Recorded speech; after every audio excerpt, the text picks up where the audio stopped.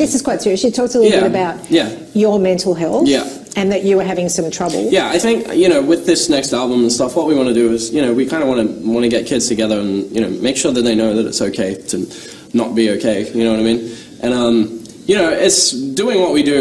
It kind of sends you a little bit weird, as you can see from how you know stupid we are. Speaking on behalf of you guys, Thanks. Um, it can, you know, it can kind of get to you, and and um, you know, we, we want to be kind of like advocates for that, and you know, if we can make some good in someone's life, then Yeah. that's all we, that's all we ever And want. that's why you decided to share what was going on with Well, you. yeah, I think it was taken a little bit out of context. Like, I didn't really. It's whatever, really. Yeah. I mean, we've started this thing called the New Broken Scene, and it's to enforce positivity in our fans' lives and give them something with more depth. I mean, we write about real things, we write about real issues that we've experienced in our life. And, you know, we're, we're a real band sharing real stuff. Yeah. And what's some of the stuff that you I mean- has happened to you guys that you Yeah, well, we, we've, we've been on tour for four years now. We left home when we were 17. Uh, he was 16, 15. Um, and, you know, we've all come from different walks of life.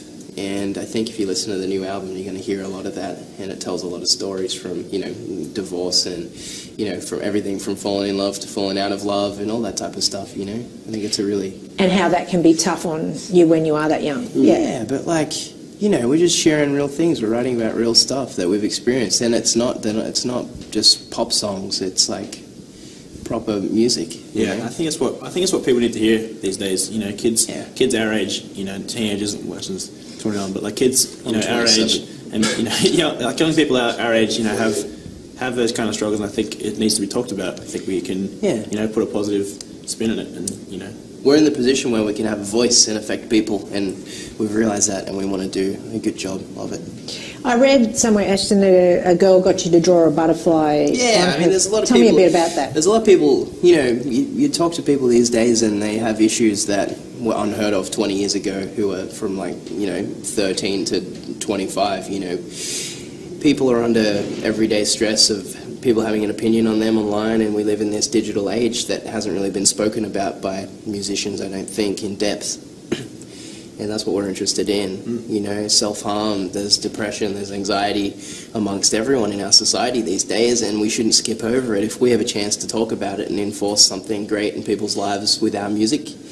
That's what we'll do, because that's our place, you know, that's what we're here for. And so, when things were tough for you growing up, was music somewhere where you escaped to? Like, it was, was it good for Mm, Yeah, you growing up? So I think, so I think when people have those struggles and look to us for like a positive influence, we can kind of understand that because that's where you know Yeah, we we might have understand. been however long ago, you know, Yeah. and still now listening to music. Like, you, you never stop listening well- to music for that kind of thing. Luke said before, like, we made this album for us, before anyone else. Like, we wrote about things that we really needed to get off our chest and we need to express for people to understand us properly as a band. Click the subscribe button right there. Down there, maybe. Somewhere down That there. one.